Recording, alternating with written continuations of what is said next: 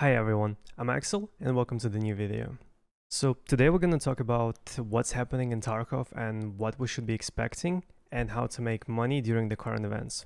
First of all, the current event of uh, dynamic loot spawns, which decreased the loots everywhere as far as I understood, no idea why, and BSG didn't mention that. Uh, however, Nikita said that this is not really a single event, this is more like a series of events, so we should be expecting something more. Um, I personally think BSG might introduce higher or lower flick emissions for all the items, not just keys. That's what they've done in the past. Traders may also be changing their prices as well as being completely out of stock for some items such as, I don't know, meds, ammo, uh, backpacks, so be prepared for that. Um, and yeah, the question still stands still. How do you make money during this event? And let me help you with that. There are plenty of ways of making money. You can keep running the original um, original loot points, shoreline rooms. Uh, you can keep running interchange tech spawns. Uh, but I don't feel that this is as efficient and uh, as sustainable as it used to be. So let me give you a couple of ways which you can use um, to make money in a stable way uh, that also suits new players uh, and players with uh, less experience in Tarkov in general. So after playing this event for two days, I realized a few patterns. First of all, loots are nerfed everywhere, every single map. However, you can still find good loots in the marked room, so reserve and customs are the good maps for that. Also, if you run and loot different crates, boxes, duffel bags, Jaeger stashes, those places still have a chance of uh, spawning high tier loot, so I do recommend doing that. Due to the fact that there are less chances of you finding high tier loot and you can still find middle and low tier loot, I recommend you running bigger backpacks to compensate for the loot with low low pricing. And let me give you an example of how I would run customs map and later on we're going to talk about which gear you can be using if you don't have much money. Depending on where I spawn on customs, I would typically go and loot the nearest uh, cache. Or if I spawn next to the old gas station, I would go check the, the giving tree. I would go inside the gas station, check for different loot spawns. Maybe I'll be lucky and I'll find a backpack filled up with loots or a key or something. And then generally I would go to dorms to loot the marked room and couple of safes as well as jackets. If you're running close to the crack house, it is definitely worth going in. There are a couple of crates in there as well as food spawns and a couple of jackets. After you search all of it, I promise you you will find some decent loot.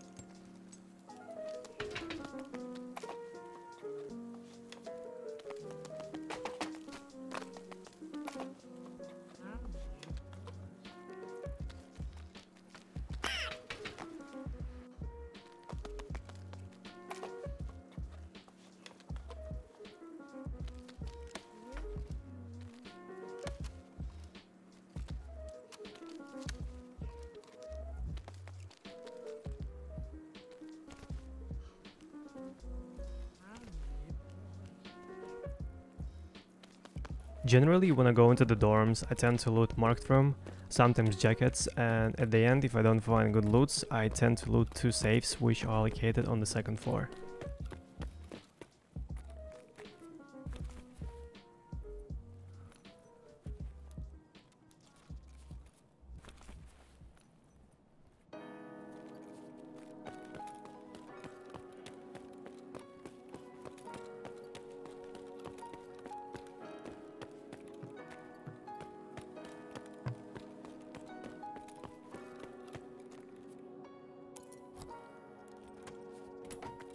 Sadly, loots in the offline, and that's exactly where I'm recording this video, are way worse than in online. So it's very it's very tough to compare the average money you can be making per raid. So don't hesitate to go into the marked room. You can definitely find good loots in there. Uh, as in one of the raids I played on the customs during the event, I managed to find a key tool which I sold for 900k and therefore it proves you you can still find a good loot in there, so keep trying.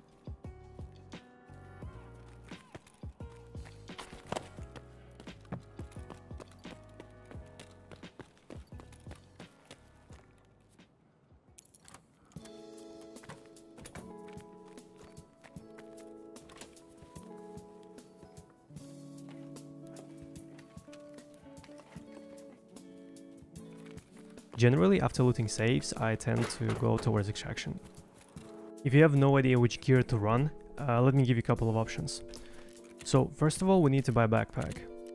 If you want to save some money, I would suggest you can buy um, a Berkut backpack. It's only 23,000 and has a bit of space. If you want to spend more, you should be going for F5 backpack. It's 46k, but trust me, bringing a bigger backpack is definitely worth it. Now we need to get armor. And the best armor for us will be the red rig. It's 50k. It works as a rig and it also protects you. It's gonna protect you from scavs with pistols, with shitty ammo, um, and against the scavs with uh, shotguns.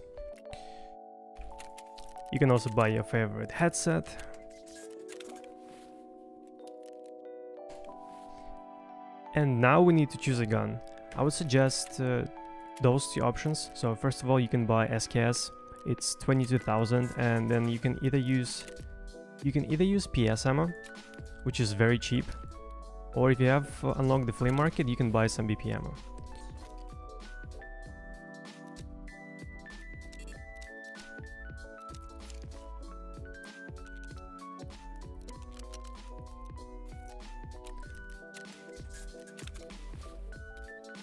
Some meds, and you're ready to go.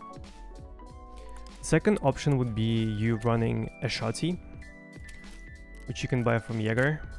You can be going for pump action shotgun, but my advice would be actually buying an automatic one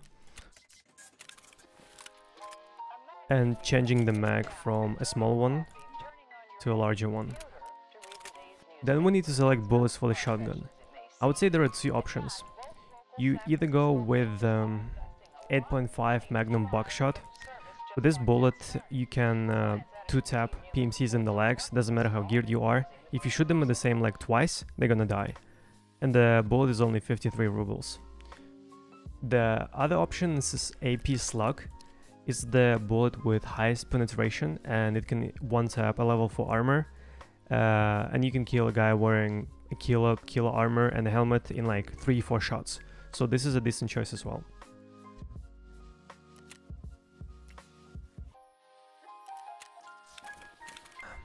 And you're ready to go. Thank you so much for watching this video. I hope you realize that in order to make money, you need to focus on running stashes and marked rooms with bigger backpacks. Uh, and yeah, have a wonderful rest of the day. Bye. What a wonderful event. Do me a favour, fuck off outside, get a big deep breath of fresh air. Piss off. Go on, outside, outside. Hey, look at me, fuck off. What a fucking muppet.